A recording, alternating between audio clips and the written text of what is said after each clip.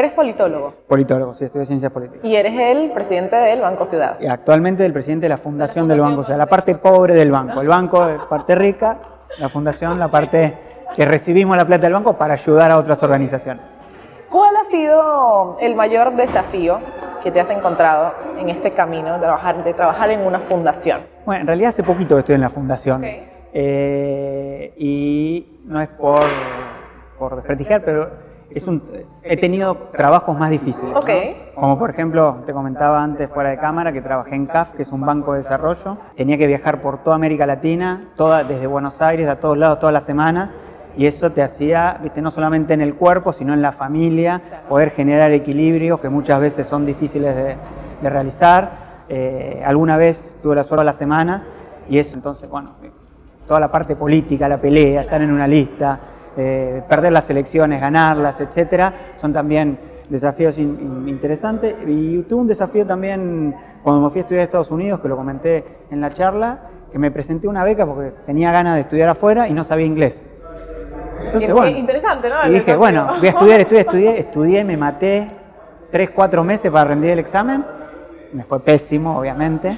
Y dije, bueno, listo, ya no, chau beca. Claro. Y bueno, no sé, tuve suerte, me eligieron igual y me fui cuatro o cinco meses antes de Estados Unidos a estudiar y, o sea, metido en la cultura, en un lugar donde nadie hablaba castellano, todo ahí pude aprender, pero después el hecho de ir a una universidad norteamericana, eh, con chicos de Estados Unidos que hablaban rápido, eh, con buena pronunciación, con, modismo, con, modismo, con vocabulario, yo ¿viste? siempre estaba ahí, pero eso fue una, un, un desafío también lindo que lo fortalece. Claro, el desafío del idioma es uno de los más importantes de cuando la gente emigra, ¿no? Especialmente cuando no tenés oído.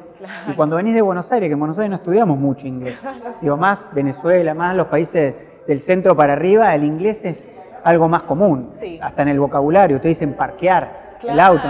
No, parquear, no, es estacionar. Bueno, hay un, era más fácil para ustedes en algún momento, no hoy, pero de Venezuela hice de vacaciones a Miami, que capaz que a las islas en Venezuela. Bueno, nosotros para irnos a Miami son 10 horas. Es un montón, claro, ustedes están en, la, el último Y desde Buenos Aires, toda América Latina es lejos. Es lejos, desde acá ir a cualquier otro lugar es lejos.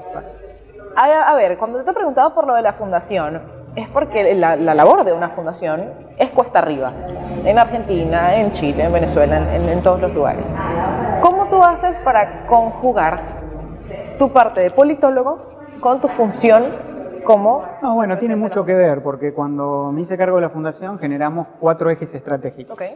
Eh, la fundación históricamente del Banco Ciudad hacía cuestiones que tenían más que ver con el arte. Eh, es muy conocida en cuestiones de ayudar a museos, al Teatro Colón, bueno, cuestiones en la Ciudad de Buenos Aires que son muy importantes. Entonces le pusimos otros desafíos. Cuestiones que tenían que ver con el desarrollo y la innovación, eh, fortalecimiento institucional e inclusión social y deportiva. Entonces un poco mi quizás especialización en temas de políticas públicas las pude trasladar al trabajo del día a día de la fundación y equilibrar un poco la parte profesional con el día a día de un trabajo, pero ese es un desafío que tenés en todos los trabajos. Entonces, gracias a Dios, tengo la oportunidad de estar en un lugar donde puedo generar esa compatibilización. Háblame de las ciudades inteligentes. ¿Qué es esto? Bueno, hoy las ciudades inteligentes es un concepto que ya hace varios años que se viene desarrollando, que usan no solamente la tecnología, sino los datos para hacer que las ciudades sean más vivibles. Bueno, pasaba, ahora está pasando en la ciudad de Buenos Aires, pero ha pasado en otros países con anterioridad, que vos sabés con el celular a qué hora viene el colectivo, cuánto tarda, etcétera.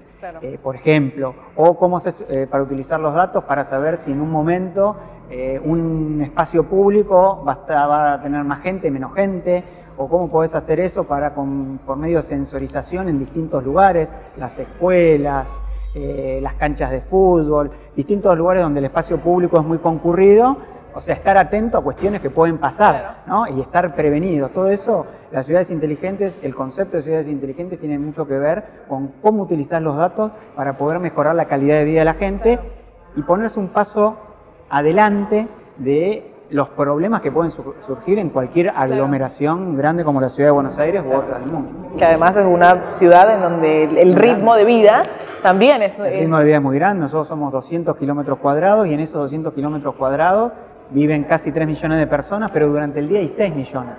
los subtes, los taxis, eh, Uber, los autos, bueno, no, Claro, todo. todo. ¿Cómo podés hacer para que se le haga a la gente la vida un poco más fácil? ¿no? Y el concepto este de ciudad inteligente apunta hacia ahí.